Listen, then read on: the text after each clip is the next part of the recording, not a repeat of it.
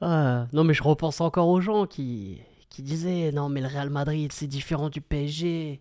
Il n'y aura pas de soucis, il n'y aura pas de diva. L'institution ça, cette année, qu'est-ce qu'on mange bien? Et salam le monde, c'est Hakim Babossi, j'espère que vous allez bien les amis, on se retrouve évidemment pour, euh, bah pour une vidéo euh, un, peu, un peu spéciale entre guillemets, euh, parce que je voulais réagir un peu à la, dernière déclaration notamment de Jude Bellingham dans la presse Marca les amis, où évidemment il revient sur son début de saison un peu compliqué, notamment dû aussi à sa blessure, sa convalescence, où il a eu du mal aussi un peu à, revenir de ça, et évidemment quand on parle du Real Madrid, il faut aussi parler du cas euh, Jude Bellingham. Bon, certes, qu'on évoque là depuis peu, mais surtout du cas Kylian Mbappé.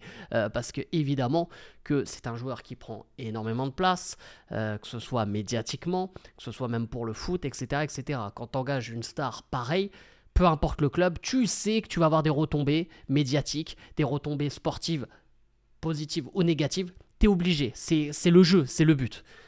Alors on peut me parler de l'institution, on peut me parler de tout ça, mais c'était sûr que ça allait arriver. Donc c'est pour ça que ça me fait rire encore une fois quand je vois les gens qui me disent mais non, Kylian Mbappé, il va aller au Real Madrid, il, on va pas lui donner carte blanche. C'est ce qu'on fait actuellement pour lui au Real Madrid. Même si il y a eu quelques retombées depuis peu, on va en parler évidemment euh, là dans quelques instants. Mais là, vraiment, le thème de la vidéo, les gars, c'est eh, s'il faut faire un choix entre Bellingham ou Mbappé Moi, je vais répondre à cette question et surtout, maintenant, actuellement, je ne suis pas en train de juger la carrière de l'un ou de l'autre. Voilà, on peut en parler jusqu'à la, fin des temps. Euh, actuellement, voilà, as Bellingham, lui, il a une Ligue des Champions. Mbappé, il a une Coupe du Monde. Euh, voilà, c'est, ça, ça peut se discuter. Mais après, c'est deux joueurs qui ont quand même deux rôles différents sur un terrain. Personnellement, un Bellingham, c'est un joueur qui va, entre guillemets, un peu plus mouiller le maillot. Bellingham, il va avoir cette touche technique. Euh, le rythme de, l'équipe va être au rythme de Bellingham, parce que c'est lui aussi qui doit mettre le rythme dans le jeu, il est milieu de terrain, etc. etc. même si on l'a vu, et pour moi c'était un crime contre l'humanité de mettre Bellingham piston droit face au Barça, c'est une mascarade. Et c'est pour ça que j'en viens à cette vidéo, les gars. Parce que Bellingham, il est sous-utilisé. Et si on prend cette dernière déclaration, les amis, on le prend hein, de, chez Marca, bien sûr, euh, les gars, cette saison, il a dû assumer sans broncher un nouveau rôle en faisant voilà, des sacrifices et toujours zéro but inscrit, ce qui est évidemment problématique. Pour Bellingham, qui l'année dernière était décisif, euh, il a marqué là, cette année, mais euh, enfin dans cette saison, mais juste avec l'Angleterre. maintenant, il veut faire un pas en avant et se sentir à nouveau comme la saison dernière c'est des propos, c'est pour ça que c'est mis entre guillemets, c'est parce que c'est, lui qui aurait fait comprendre ça évidemment au club et notamment aussi à Carlo Ancelotti. Euh, les merengues ont pour objectif de retrouver la meilleure version de l'anglais qui a toute confiance, euh, toute la confiance en interne au club. Donc voilà, ça c'est Marca, selon Marca, c'est euh, les, les, infos qu'ils ont. Les gars, si on s'appuie sur ces infos, bah c'est très simple. Maintenant, c'est Bellingham ou Mbappé? Parce que on va être clair et net, les amis. Depuis que Mbappé est arrivé, Bellingham n'est que l'ombre de lui-même. Alors oui, certes, il y a eu sa blessure. On peut mettre sa blessure, on peut mettre tout ça. Mais honnêtement, les amis, Bellingham, il est sous-utilisé. Au milieu de terrain, ça a du mal à fonctionner. Ça a du mal à fonctionner.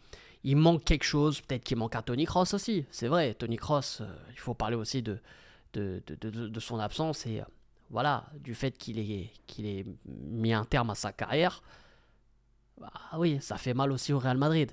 Je suis pas là à dire que Mbappé, là, c'est tout est de sa faute. Non, il y, y, a un contexte. Il faut être honnête un minimum. Mais il est en grande partie responsable. Donc, maintenant la question est Bellingham ou Mbappé? Et surtout, est-ce qu'on repartirait pas sur la, en fait, la même formation et la même attaque que l'année dernière, où le Real Madrid cartonnait? Où le Real Madrid était efficace, où le Real Madrid gagnait, peu importe la manière, il gagnait, que ce soit très bon, que ce soit très difficile, avec beaucoup de difficultés, le Real Madrid gagnait.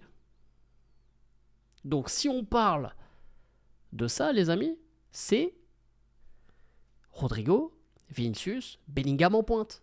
Bellingham en espèce de faux neuf.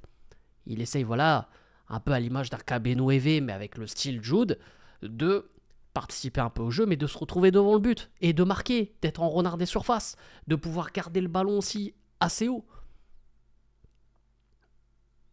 Mais avant même d'approfondir ma réponse, les gars, c'est le moment partenariat. Oui les amis, parce que vous le savez très bien avec mon partenaire John Sport, site spécialisé dans la vente de maillots, les amis, bah évidemment, euh, voilà, si vous êtes intéressé pour les maillots de la saison 2024-2025, hein, qui sont déjà disponibles, hein, que ce soit pour les clubs ou les sélections nationales, hein, avec le dernier Euro ou la dernière Copa América, il y a aussi des sélections africaines qui sont disponibles, comme euh, évidemment le Maroc, le Nigeria et plein d'autres, bah les amis, n'hésitez pas à aller en profiter, même pour des maillots rétro vintage, les maillots sont disponibles. Et vous pouvez même euh, les amis, euh, bah pourquoi pas profiter des, maillots de NBA, en plus tout est à un bon prix.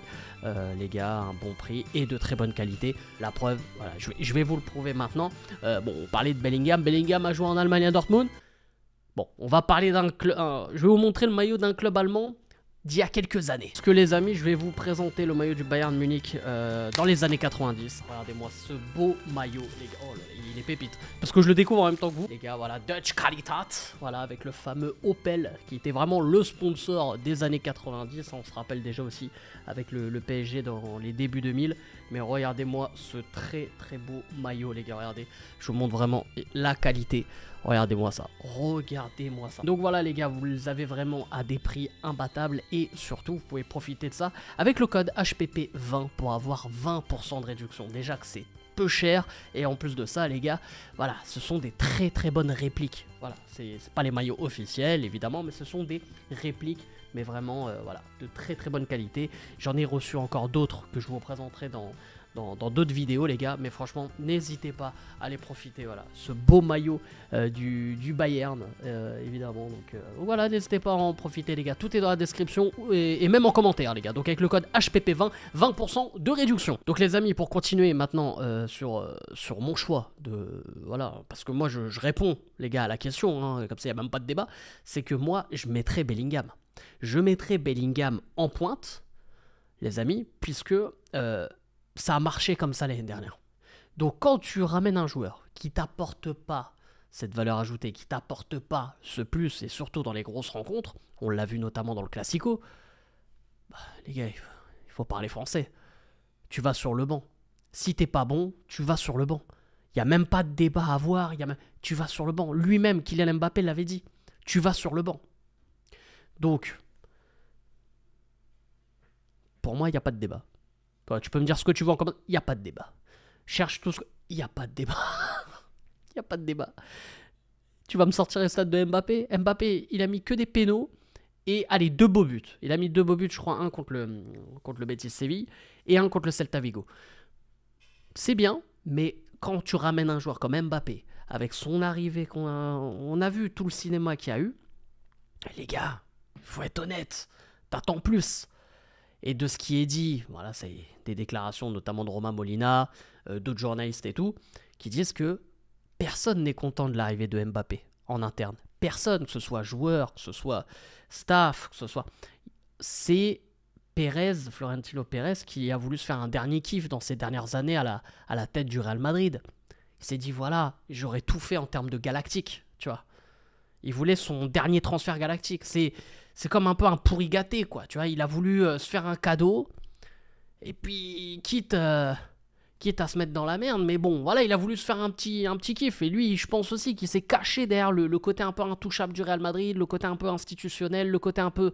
Voilà, attention, quoi qu'il arrive, le Real Madrid, à la fin, c'est eux qui gagnent. Mais non, à un moment donné, le foot te rattrape. Quand tu perds contre Lille, quand tu te fais ridiculiser contre le Barça, à domicile, 4-0. Il faut se remettre en question. Et puis aussi, il y a une dernière info. Alors bon, là, ça va prendre vraiment avec des pincettes, parce que là, c'est assez lunaire. Hein. J'ai vu ça tourner, euh, enfin, j'ai vu ce truc-là tourner sur Twitter. Comme quoi, d'après Cyril Hanouna, Cyril Hanouna aurait des infos. Alors maintenant, si Hanouna, il a des infos sur le Real Madrid, c'est que ça part en cacahuète. Mais euh, en fait... Très proche du, président. Euh, sachez-le, si les deux prochains matchs, apparemment, Mbappé fait de mauvais matchs en championnat contre le Milan AC, euh, il sera ils vont, ils vont le mettre sur le banc. Oula Voilà, je vous le dis, il va commencer à, voilà, le banc et ils vont remettre l'attaque de l'année dernière. Là, on lui donne, on fait l'ultimatum, deux matchs. S'il est bon les deux matchs, il joue. Il est titulaire.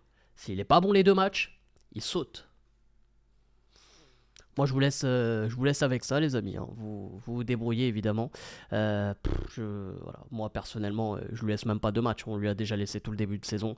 Mais bref. Sur ce, les amis, n'hésitez pas à commenter sous la vidéo et à donner votre avis. N'hésitez pas aussi à lâcher un maximum de likes et à vous abonner en activant cette fucking cloche. Et bien sûr, vous me dites en commentaire tout ce que vous en pensez. Ça vous de jouer juste sous la vidéo. Bref, c'était Hakim pas possible. Je vous aime, je vous laisse. Et bien sûr, allez le foot.